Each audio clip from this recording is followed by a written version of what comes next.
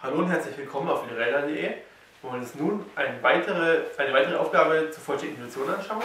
Und zwar wollen wir zeigen, dass für jedes n gilt n hoch 3 plus 2n ist durch 3 teilbar. Gehen wir vor wie immer, fangen wir mit Induktionsanfang an. Induktionsanfang n gleich 1. Setzen wir 1 ein. n hoch 3 ist 1 hoch 3 plus 2n, also plus 2 mal 1 nun 1 hoch 3 ist 1, plus 2 ist 3. Nun 3 ist durch 3 teilbar. Also korrekt. Geht es weiter. Jetzt müssen wir einen Induktionsschritt wagen. Das heißt, wir müssen schauen, setzen wir ein beliebiges n fest, für das diese Behauptung gilt. Induktionsschritt. Das heißt, es gehört Induktionsannahme dazu.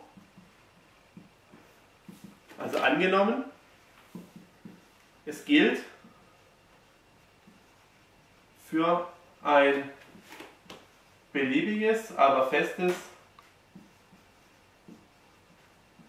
n, eben die Behauptung, dass n hoch 3 plus 2n durch 3 teilbar ist. So müssen wir zeigen, sogenannte Induktionsbehauptung.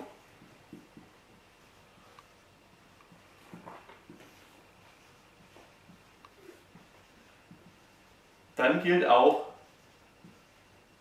für n plus 1 eben diese Aussage. Das heißt, wir müssen beweisen, für n plus 1 die Aussage, das heißt, ich setze statt n hoch 3 n plus 1 hoch 3 an, n plus 1 hoch 3 plus 2 in Klammern n plus 1.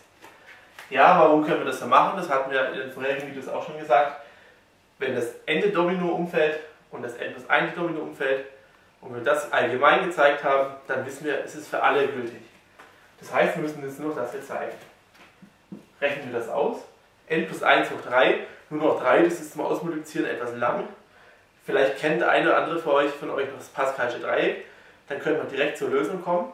Die Lösung wäre in diesem Fall n hoch 3 plus 3n Quadrat plus 3n plus 1. Wie kommt man darauf? Kann man das mal allgemein machen? Wie war das mit dem a plus b? Hoch 3. Das war ja in dieser, diesem Pascalschen Dreieck, konnte man das ausrechnen oder eben direkt ausmultiplizieren. Das heißt a plus b mal a plus b hoch 2. Das kann man weiter ausrechnen. Das ist a plus b, erste binomische Formel, mal a plus 2ab plus b. Rechnen wir das weiter aus, jetzt jedes mit jedem. Das heißt, a mal a ist a hoch 3 a mal 2ab ist 2a Quadrat b. a mal b ist ab. Schauen wir mal, wie das mit dem b weitergeht. ba. Nächste ist 2ab Quadrat. Und das letzte ist b hoch 3. Nun können wir das zusammenfassen. Das heißt a hoch 3 plus hier a b hier auch a Quadrat b, das heißt wir haben 3 mal a Quadrat b. ab Quadrat kommt auch dreimal vor.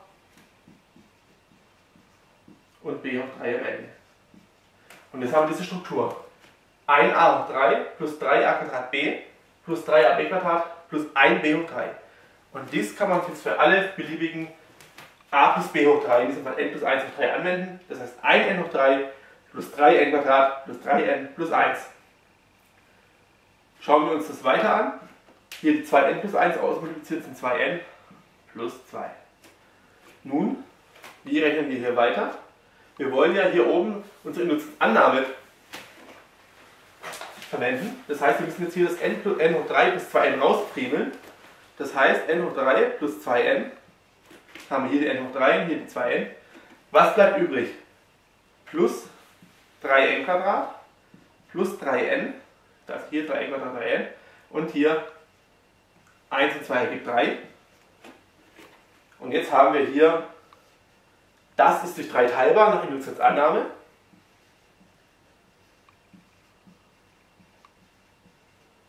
Und das hier, das ist überall eine 3 mit drin, also sind auch alle einzelnen Summanden durch 3 teilbar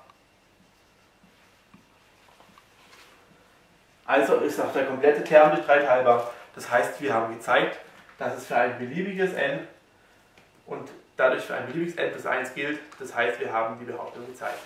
Danke.